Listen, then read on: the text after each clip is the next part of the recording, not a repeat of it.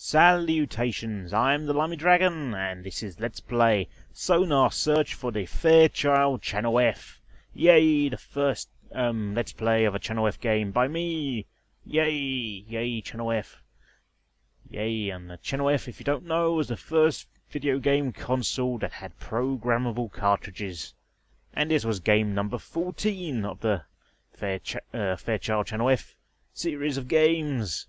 Okay, G, what does that mean? It means game. Want game one. Game one. Because it's one player mode.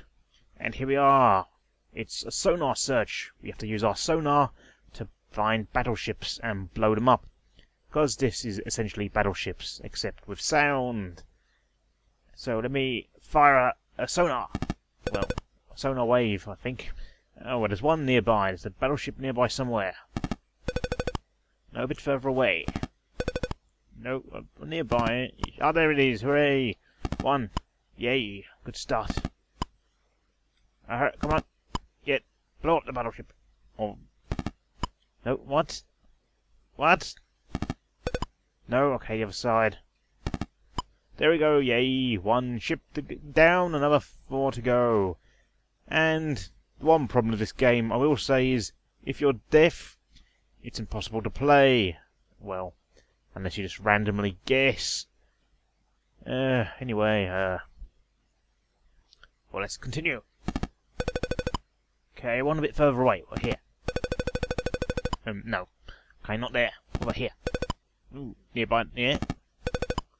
Ooh, there's one somewhere around there. Aha, there it is. Destroy it. No. Okay, oh, okay, this way. Stupid me. Nope. Yes. Uh, yay! Another one down. Another one bites the dust. Dun, dun, dun, dun, dun, dun, dun, dun, dun. Another one bites the dust. Okay, no more singing. Okay.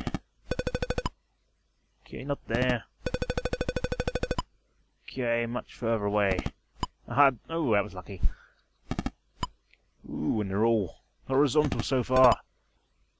Any vertical ones? Yay, another ship down. Okay. Hmm. Oh, there's... Aha, there it is. Which direction? Nope. Oh, I just hit the same spot. Okay, it's horizontal as well. And there we go. One more ship down, and we've got 44 uh, torpedoes left.